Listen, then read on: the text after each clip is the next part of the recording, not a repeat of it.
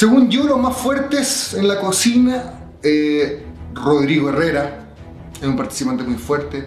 Eh, Felipe también, Felipe Ríos, la Nati Chilet. Vendría a ser Felipe.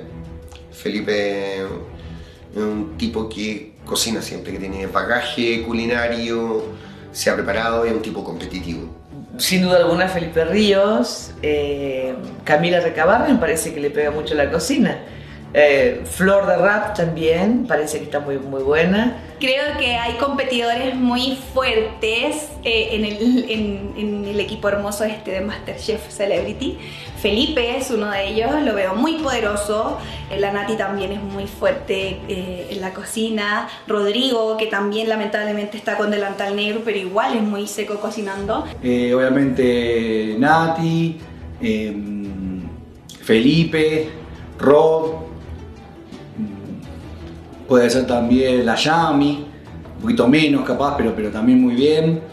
Y son esos, no, no, no, no hay muchos más. Yo creo que Rodrigo eh, Herrera hoy día está con el delantal negro, pero yo creo que es un buen chef porque yo lo he conversado y habla de sazón, pone la parrilla, por supuesto, como futbolero.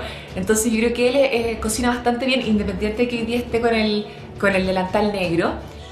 Si tengo que forzosamente inclinarme por algunos, diría que uno es Felipe y Nati.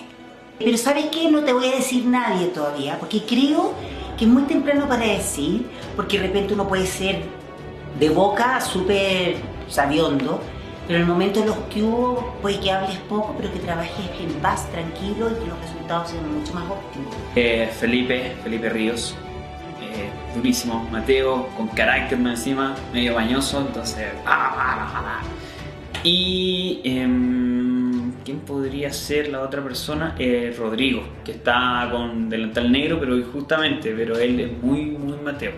Para mí, el participante más fuerte es Felipe Ríos. Él es actor, tiene método, concentración, se mete en el personaje.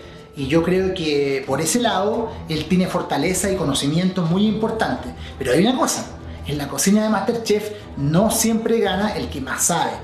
Definitivamente yo no. Eh, pero yo veo fuerte a la Nati, a Felipe Ríos, veo fuerte a Rod, em, a Julio también. Yo creo que hay harta gente que sabe en este grupo de Masterchef.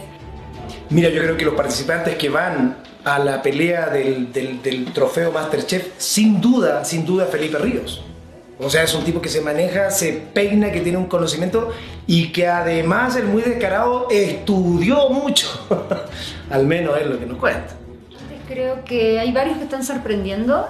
Eh, creo que Flor eh, del rap es muy buena. Eh, el Rodri Gallina, el Akami. Um, Felipe también, si es que se suelta un poco. Yo me tengo mucha fe.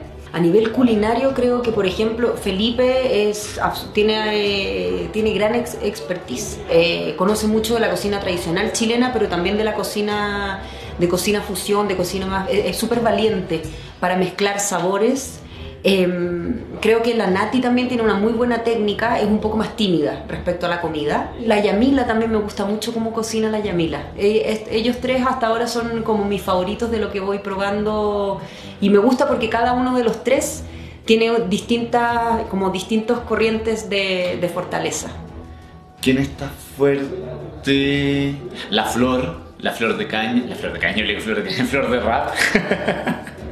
Yo le digo flor de caña porque hay un trago que se llama así flor de caña y un chiste entre nosotros.